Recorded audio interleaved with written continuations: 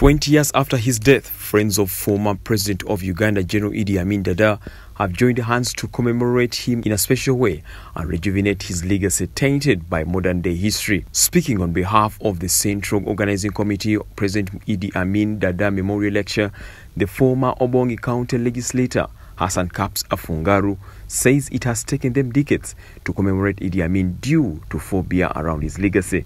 There was a fear about talking about Idi Amin. Even this fear is there now. Some people feel that don't talk about Idi Amin, don't talk about Idi Amin. And uh, even those who know the facts that Idi Amin was a great person. Fungaroo adds that because Amin left no political party or any other movement behind, there has been a vacuum on who to take a lead in organizing such an event. Series of events have been organized both in Bombo and West Nile to remember a man who worked hard to liberate black economic rights in the country. Now, young people from across Uganda, and particularly from West Nile, that we should organize it now. Even if there is no political party, there are volunteers who have come up like me and come up boldly, no matter the fear, the intimidation, to say we need history. This is now an academic matter. academic matters are not taken to prison. Fungaroo says that they have intentionally picked out Ambassador of Saudi Arabia in Uganda, Jamal Muhammad Hassan Al Madani, as a guest of honor as a sign of appreciation for Saudi Arabia for standing in solidarity with Amin and accommodating him at the time when the West wanted him dead. Some of the people, some of the countries were fearful. They did not want to keep Idi Amin Dada for fear that they may be bombed by America, they may be bullied by America, the West, etc. But Saudi Arabia stood by Idi Amin and therefore would like the ambassador of the Kingdom of Saudi Arabia to come to West Nile. And the people of West Nile and the people of Uganda go and tell him in front of him, thank you, Saudi Arabia, thank you. The organizers of the memorial lecture want the legacy and history of Idi Amin Dada to be rewritten.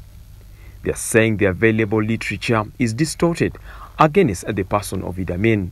They also intend to resurrect books written by Amin Dada for the public to read and get a clear picture of what the third president of Uganda stood for. Have you seen this book before?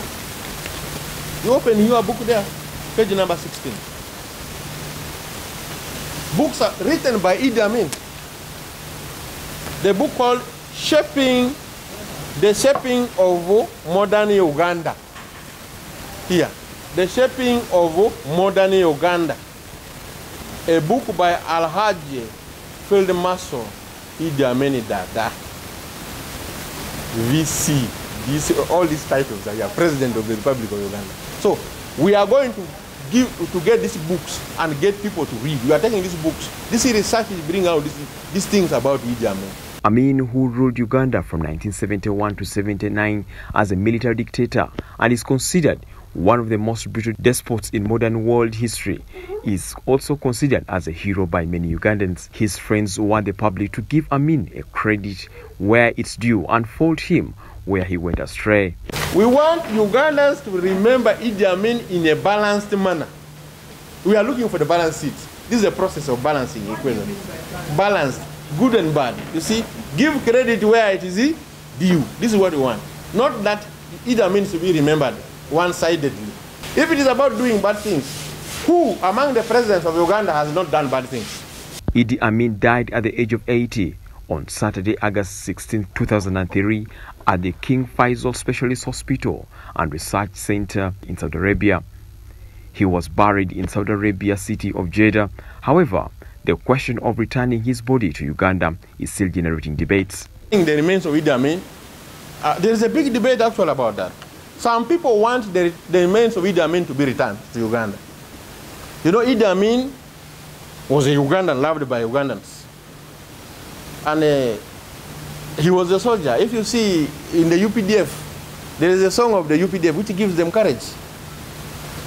It goes like this If I die, do not bury me here. Take my body home to my parents. Kama mimi nakufa, uchiwacha mimi hapo, peleka mimi nyumbani kwa wazazi wangu.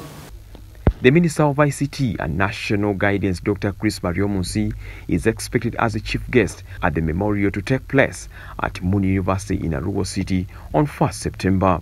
Come on, sir! Julius Malema, the president of Economic Freedom Fighters Party of South Africa, will be the keynote speaker on the event. Other discussants and panelists will include Professor Abbas Chimba, Honorable Suman Basalirwa of Pondo, Jaffa Amin, among others. Story compiled by Fred Kajubi for the news in Kampala.